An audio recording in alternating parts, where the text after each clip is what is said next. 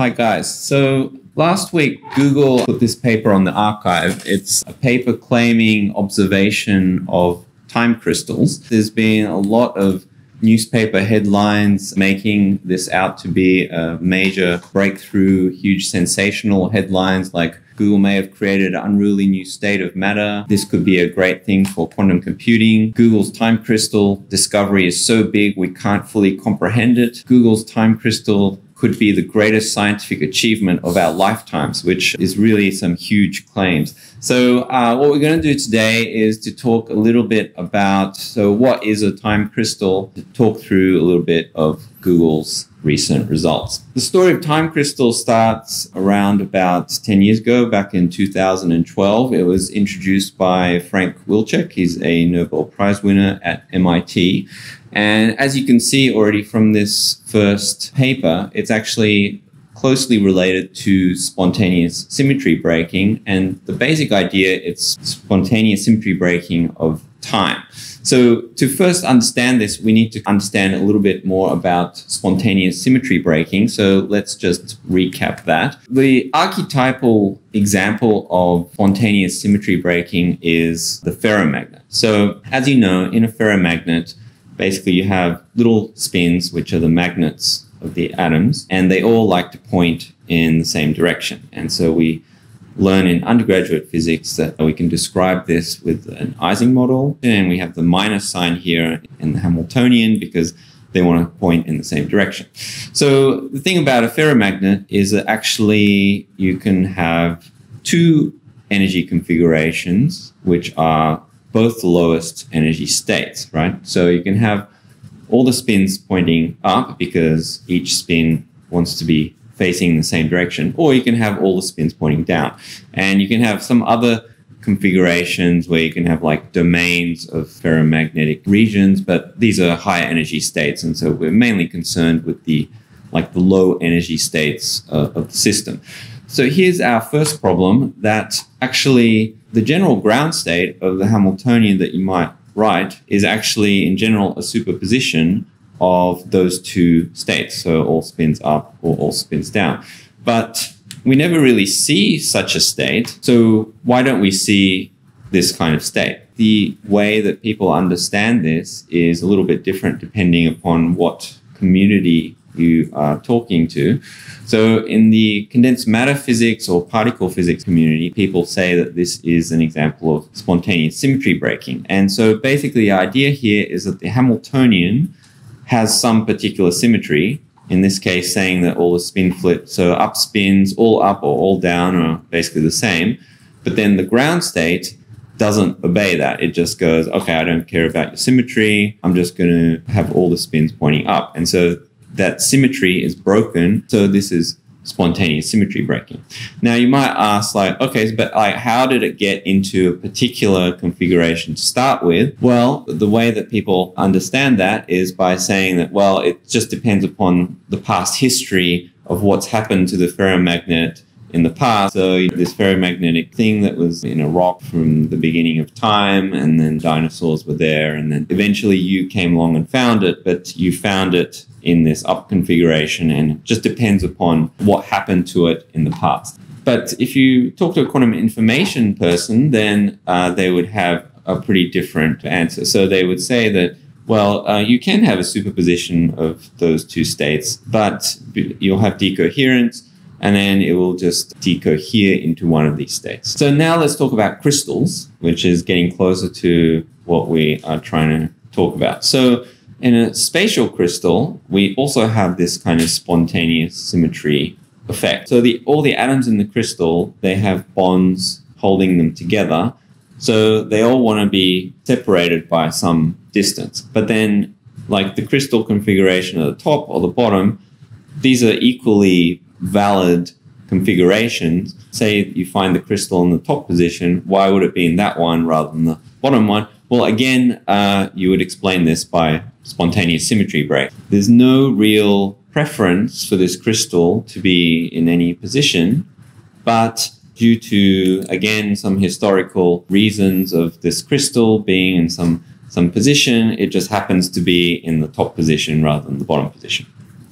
Okay, so that's spontaneous symmetry breaking in space. Okay, so what's a time crystal? Well, if you look at the crystal in terms of position, so this top graph, then you'll see that the atoms are in arranged, arranged in some periodic way. If you plot the atomic density within the crystal, it'll go up and down, right? So that's oscillations in position. So a time crystal would be some oscillations not in position, but in time, right? Okay, uh, that sounds fine, but uh, that's just an oscillator. So what, what's so amazing about that? Instead of just being an oscillator, we need this extra ingredient to have spontaneous symmetry breaking. So basically, it should be something that's oscillating, but it shouldn't be oscillating because you are shaking it around. It should just be oscillating because that's the natural state that the system prefers to be in. So the oscillation should arise despite the fact that the Hamiltonian is completely independent of time. You write down your Hamiltonian, there's no time varying parameters, yet somehow the system likes to oscillate. Time symmetry is like spontaneously broken. Uh, another thing, it should also be a kind of a stable state. So it shouldn't be some kind of transient state where it just sort of decays away or something that happens at the beginning. It should be a stable state of the system because if we go back to the original case of the spontaneous symmetry breaking of a crystal, that was like a ground state of the system, right? So this means that in the time crystal case, it should also be a stable state that the system would be in, and it should just basically keep on oscillating forever. So basically, that's what a time crystal is as defined by Wilczek. But what people are talking about more these days are actually discrete time crystals. And this time we say that it's okay that we are going to drive the system. We're going to actively oscillate the system in some way. Okay, but then in that case, how do we have this idea of spontaneous symmetry breaking? So in this case, we have a slightly different idea of if we are driving the system at some frequency, say with period t, then if the system responds with a different frequency to the driving frequency, then the system is responding with a frequency that you didn't put in there, right? So if you didn't put that frequency in there, then it spontaneously come up with this different frequency of oscillation. So people talk of a discrete time crystal if this driving frequency is different to how the system actually responds. Specifically, the period is usually some integer multiple of the driving frequency. So if you're driving it originally at one hertz, then the expectation value would be at a frequency which is like lower than one hertz, so 0.5 hertz or maybe a third of a hertz or something like that. Okay, so I think that's the crash course in time crystals. So we can go back to what this Google paper is talking about. So I'll hand it over to Junheng now. Okay. Yeah. So I'm going to give more uh, detailed explanation of this paper. Okay. So so the idea that the system will have a expected value that oscillates like twice the period of the system is because that they have a eigenstate order that they will flip, you know, from one uh, eigenstate to the other and then flip back. So so then you have the twice the period of the oscillating system. So a typical example of this kind of system is like Ising model. For example, this is on the left that you can find in the in this Google paper that typical operations that uh, there are three operations in place. So one is the, the driving force, driving field, which oscillates. And the other one, the second one is the interaction. And also you have the rotation, so which will flip the, the every qubit. So in order to have this kind of time crystal, you need all these three steps. The, the way to observe such a time crystal is to measure the expected value of sigma z, which is the Pauli operator on the z-axis. If you drive the system at the frequency uh, of the period of t, and you will see that the expectation value of sigma x and xy does not oscillate it just simply decays, right? But but the sigma z oscillates in the frequency of two at 2t. So this one is uh, not Google's result. No. This is a theoretical result. Uh, yes, yes. Okay. So for them on the right side, they do a Fourier transform of sigma x, sigma y, and sigma z, Yeah. and you can see this distinct uh, peak of sigma z at 0.5, right? Which is means the the frequency of the response is uh, half of the frequency of the driving for driving field. Yeah. So this is the very distinct uh, a characteristic of the discrete time crystal. And if we look at the Google paper, and so they didn't really show that you know it's like twice the period because maybe they think this is commonly accepted, so they don't show it more. But this is their result. So this kind of time discrete time crystal is realized in the case that we all have out of equilib- equilibrium uh, phase. Because if you have a thermal phase, for example, if this G is very small, this Ising model will just go to a thermal phase where you simply have decay. You, you will not have this kind of, if you have, for example, this G equal to 0.97, which is close to 1, you have this uh, phase as out of equilibrium and it will oscillate among two eigenstates.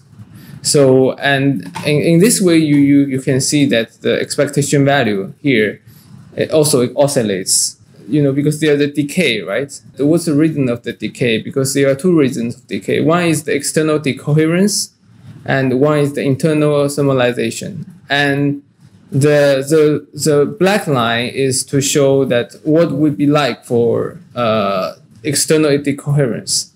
And so on the on the right on the left side where you have a thermal phase, you can see that this decays much faster than this black line. So in, in indication of this because of the internal thermalization. But on the right side, you can find that uh, this uh, the, the decay of the envelope is exactly because of the external decoherence. So so internally they don't have uh, thermalization. So when you normalize it on the and you will see that this with when you normalize with the envelope, you will see that it oscillates, you know, very very well. In the prior theoretical works have shown the model is expected to have this kind of discrete time crystal phase in a range where G is bigger than G, uh, GC, where GC equals approximately to um, 0.84. So this is the phase transition between these two phases. And the other one important thing is because you, you see that there are three steps, right? So one is rotation, one in action, and then you have a disorder. So these two these two graphs is from the 2017 paper, and to show that the importance of the interactions. For example, subgraph A, only the flip is on, I think. The rotation is on. And second one, you have disorder. And then on the right side, you will turn on the interactions. And you can see, maybe not easily from this uh, uh, time graph, but from the Fourier transform, uh, the graph, you can see that the, this 0.5 you know, frequency uh, is distinct only for when the interaction is on. In the interactions off, there's, I mean, there's actually two peaks, and they're both around 0.5, right? No, not No? really. No? No. they are so at the 0.5 exactly 0.5. This Oh, there's no peak, right? oh, okay. So the I mean, the- on the on the right side, on the sorry, on the left side. Well, yes, but uh, I thought that even if it's like, Like this? close to 0.5, it's still a time crystal. It's not a time Um, crystal if it's not exactly No, twice. no. Yes, you have to be 0.5. Or maybe it's transient or something. Is this transient behavior? or- um, discrete time crystal based on the Ising model. Uh, Mm. you need you must have the just have one half of the Oh. original frequency. Otherwise, you know you cannot explain because the theoretical model says.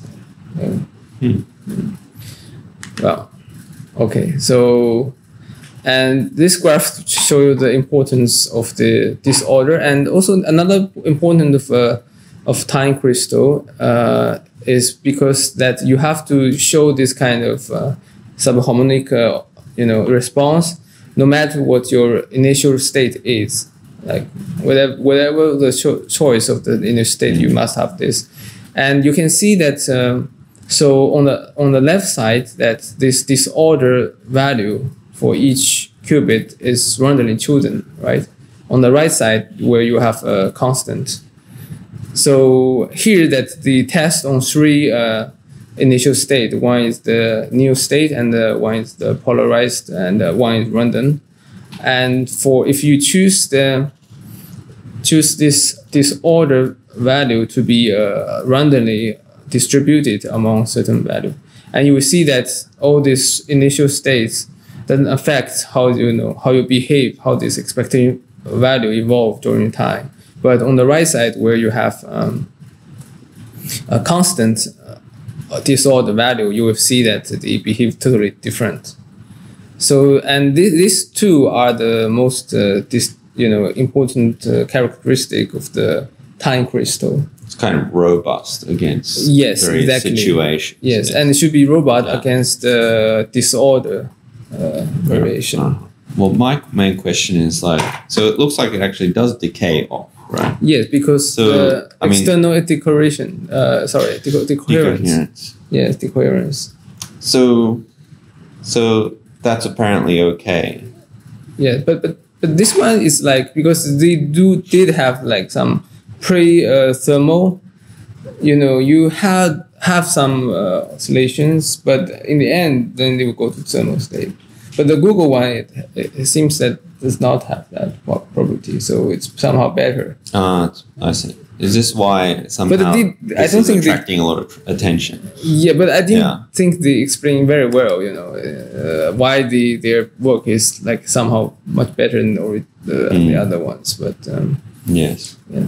I mean, you know, it's kind of surprising everybody's going so crazy over it, considering there's already two papers in 2017 yes, that yeah. actually said they observed, right? What's the difference between the normal time dependent oscillator? You're not in the camera. Just a normal oscillator in the ground state, for example, quantum oscillator, Hmm. which oscillates forever because you desire to get it to the spatial, to the time domain, actually, from, Mm. from the spatial or from, from the normal domain. Yeah, so uh, I mean, in Wilczek's original paper, the kind of nearly time crystal example that he gave was just like a superfluid that was revolving in a ring, because that has some kind of oscillation, in a sense, and it's also a stable kind of ground state, right? So I think I think it needs to, uh, you know, at least in the original definition, it should it should be kind of stable forever. So I guess most oscillators would just decay. And in that sense, uh, at least in Wilczek's kind of idea of a um, time crystal, doesn't really quite satisfy. But on the other hand, these do decay, right? Well, yeah.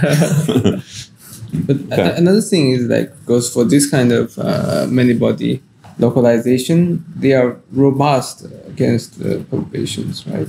right. and and a bit external bath. I think the uh, robot, whether it's for coherence state, Mm. maybe it's not. Uh huh. I see. So if there's some kind of disorder, Yes. it would uh, start to oscillate at a different frequency. Yes, exactly. Uh-huh. Maybe. I hope you enjoy this video and don't forget to subscribe to this channel and we'll see you next time. See you later.